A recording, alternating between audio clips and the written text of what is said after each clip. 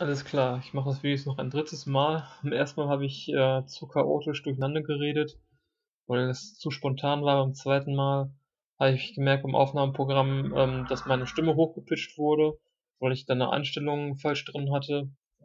Ähm, und jetzt versuche ich es nochmal.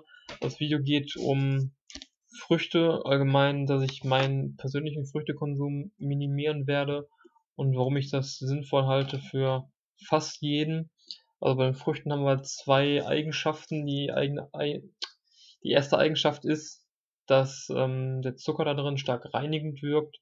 Der zweite ist, der bezieht sich auch auf Zucker, dass ähm, es den Blutzuckerspiegel zu stark ansteigen lässt in kurzer Zeit und dass der Zucker ähm, sauer auf den Körper wirkt. Und das ist so, weil die weil ungefähr 90 bis 95 Prozent auf Zucker überzüchtet sind und dann ist die Balance einfach weg der Frucht. Also die Frucht, Frucht muss man halt als Ganzes sehen und wenn man halt einzelne Teile überzüchtet, dann fehlt einfach die Balance und das wirkt dann auch auf den Körper aus. Und ich fühle mich dann selber auch außer Balance. Ich fühle mich äh, teilweise hyperaktiv. Ähm, und ich merke auch, wie ich, also ich krieg nach drei Bananen schon Sodbrennen und äh, fühle mich auch übersäuert, mit Ausnahme, wenn ich Sport mache, wenn ich davor oder danach Sport mache. Also als Sportler hat man weniger Probleme damit, besonders als Leistungssportler merkt man da sowieso nichts. Ähm, da kompensiert man das ganz gut und ich halte Kompensation auch für sinnvoll in dieser Welt, in dieser Welt voller Gifte und Toxine.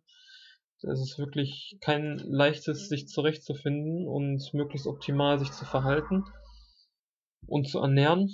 Ähm, aber generell also ich habe gleich eine Liste, die ich noch ähm, aufzählen werde kurz, welche Früchte ich dann konsumiere und ähm, und welche ähm, Früchte halt nicht auf Zucker überzüchtet sind, meiner Erfahrung nach, und die ich halt sehr gut vertrage, ähm, um zu wissen halt, was man dann essen kann. Also ich empfehle generell für die meisten acht bis zehn Stück Obst, eher acht Stück Obst am Tag nur, nur zu essen.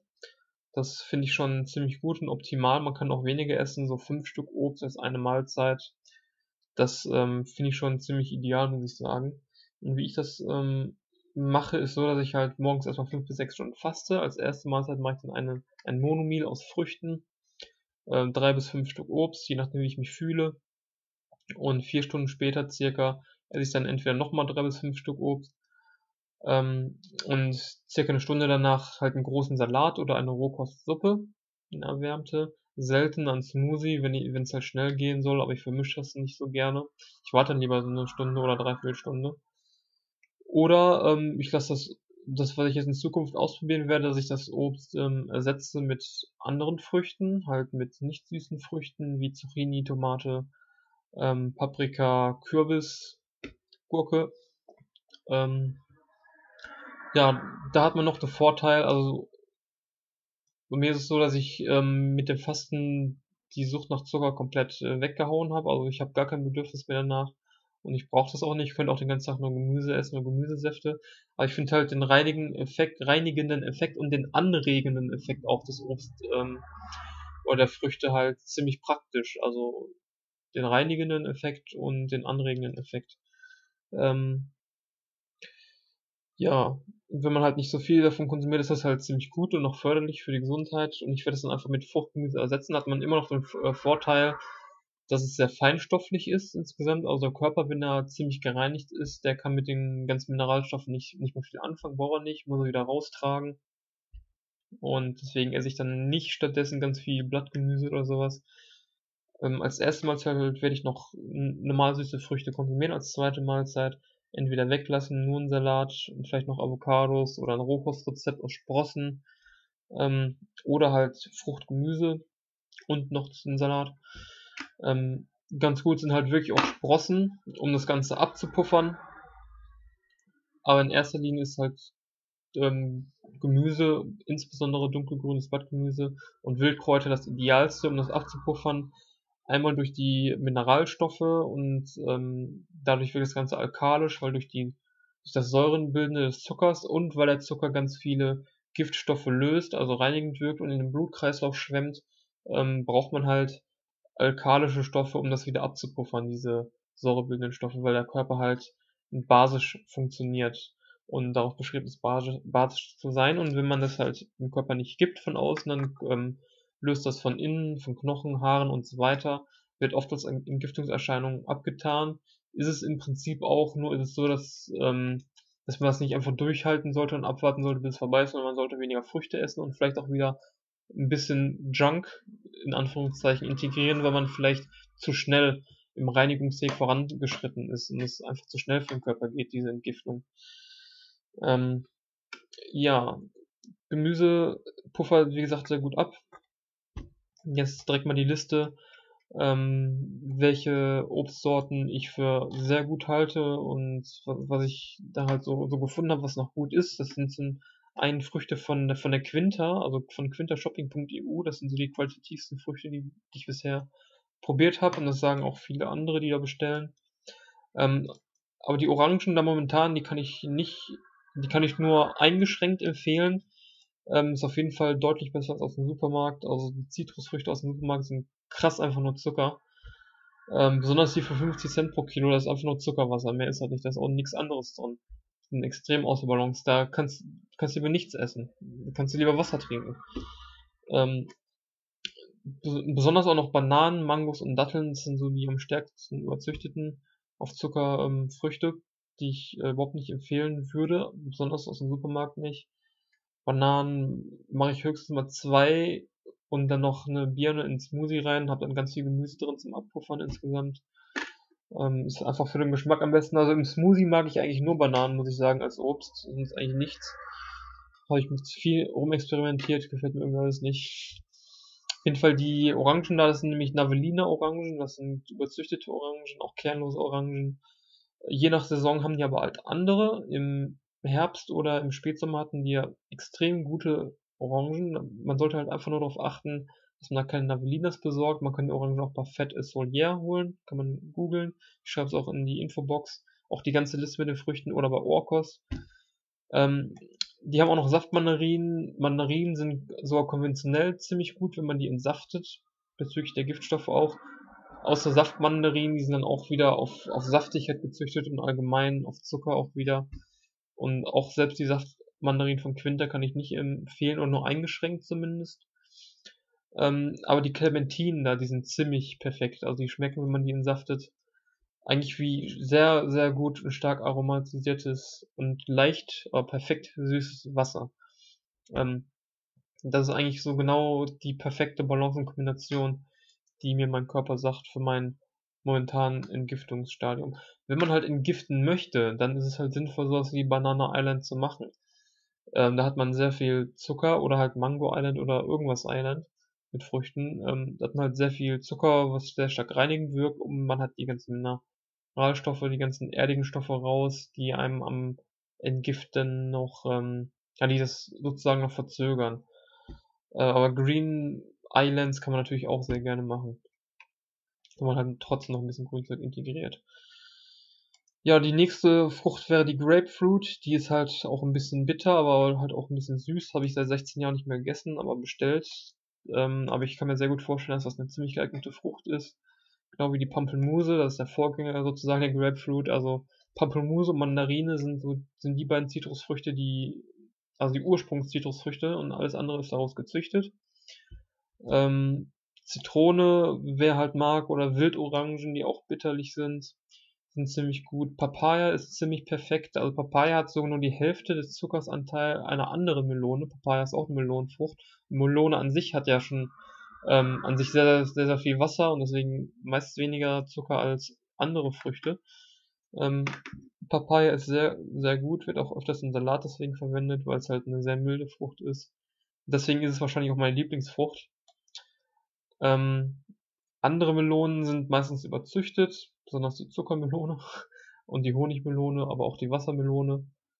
Ähm, die Cantaloupe-Melone, die müsste ich noch ausprobieren, da kann ich mir vorstellen, dass die noch in Ordnung ist. Ähm, und ich muss sagen, von Netto die Honigmelone sind manche ziemlich gut. Von Aldi die ganzen Honigmelonen, die sind aber alle viel zu süß. Irgendwie. Dunkle Trauben, wenn sie bio sind, aber ich weiß mir, Äh, ich weiß mehr. Ähm, aber ich weiß gerade nicht, welche Sorte. Es gibt verschiedene Sorten, da kommt es wirklich auf die Sorte an. Also bei vielen Früchten kommt es auf die Sorte an, zum Beispiel bei diesen dunklen Trauben.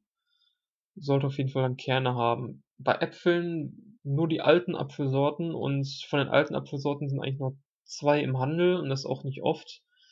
Ähm, das sind Boskop-Äpfel und Cox Orange Äpfel. Der Holsteiner Cox, der gezüchtet ist aus Cox Orange, der ist bereits zu süß. Ähm, ich habe hier zum Beispiel einen Demeter Breburn-Apfel, der ist mir schon zu süß, also zur Not geht der. Oder wenn ich mal einen halben irgendwie zu einem Gemüsesaft mache, dann geht auf jeden Fall sehr gut. Aber hier habe ich zum Beispiel einen Boskop-Apfel und da sieht man auch den Unterschied. Also der ist total allglatt, sage ich mal, äh, auch im übertragenen Sinne. ähm, und total knallig und äh, ja, rein sieht er so aus und das ist halt wirklich ein alter Apfel, auch wenn er ziemlich groß ist. Und so sieht ein natürlicher Apfel aus und der schmeckt dann auch so. Der schmeckt dann halt auch schön mild und so weiter. Und ein Wildapfel übrigens hat fast null Süße. Auch wenn er voll reif ist. Also ein Wildapfel, das, die meisten wird dann nicht mehr runterkriegen. Selbst wenn er in Saft ist oder dann noch zu so einem Sirup eindickst oder so, da hast du gar keine Süße drin einfach. Aber das tut mir am besten eigentlich, habe ich gemerkt. Das ist dann ziemlich feinstofflich, trotzdem noch, also im Gegensatz zu Blattgemüse und trotzdem nicht diesen ganzen Zucker drin. Aber wie gesagt, gibt es halt verschiedene Vorteile von ähm, süßen Obst, die ich halt noch nutzen will, aber ich reduziere es halt. Wie gesagt, 8 bis 10 Stück Obst halte ich für sinnvoll. Auch für Leute, die noch nicht so entgiftet sind. Ähm, Sportler können natürlich dann mehr essen. Nächste Frucht wäre die Peel de Sapo Melone. Also die Melone ist so meine Lieblingsmelone, neben der Papaya halt. Und die ist sehr gut, kriegt man aber nicht so oft, momentan glaube ich gar nicht. Dann haben wir Erdbeeren, manche Kirschsorten muss man auch wieder ausprobieren. Also unser Kirschbaum ist ziemlich optimal. Brombeeren, aber allgemein Wildobst und ähm, ja, das heißt viele Beeren. Also Beeren sind ziemlich gut, deswegen mochte ich die auch schon immer sehr, sehr, sehr, sehr gerne. Auch wenn Bananen auch Beeren sind, botanisch gesehen, aber ich meine jetzt so halt Wildbeeren, Himbeeren, Blaubeeren, Brombeeren, aber auch Kirschen, Erdbeeren. Auch wenn Erdbeere schon ziemlich gezüchtet ist, aber die Erdbeeren, die ich kenne, die sind eigentlich schön saftig und wässrig. Also nicht im negativen Sinne wässrig, aber ja, nicht zu süß halt einfach. Das nächste wäre die Drachenfrucht. Die Feige ist auch eine sehr ursprüngliche Frucht, genau wie der Granatapfel. Granatapfel am besten nur Bio. Kaktusfeige. Und das war's dann so, was ich konsumiere, wenn ich halt so Sachen bekomme. Am meisten konsumiere ich halt dann wirklich so Cox Orange Äpfel oder halt die Clementinen von Quinta oder konventionelle Mandarinen für 1 Euro pro Kilo entsaftet. Grapefruit, werde ich probieren, Papaya. Das jetzt halt so im Winter. Ähm, ja, wahrscheinlich noch gut sind reife Kaki, aber bei mir reifen die selbst noch zwei Monate nicht, werden aber auch irgendwie nicht schlecht.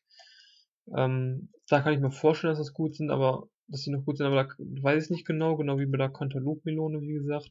Cherimoya kann sicherlich sehr gut sein gewisse Ananassorten und gewisse Mangosorten, also generell Ananas und Mango überhaupt nicht, sind viel zu süß.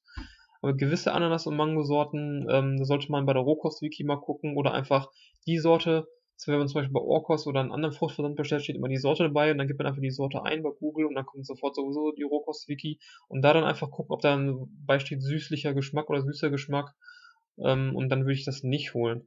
Gut, könnte auch noch sein Jackfrucht, habe ich auch noch nie probiert und Durian habe ich auch noch nie probiert.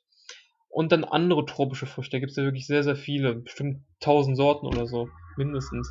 Da muss man halt ausprobieren. Aber tropische Früchte sind im Allgemeinen, nee, kann man nicht sagen. Also Ananas und Mango sind ja, und Banane sind ja das überzüchtigste überhaupt.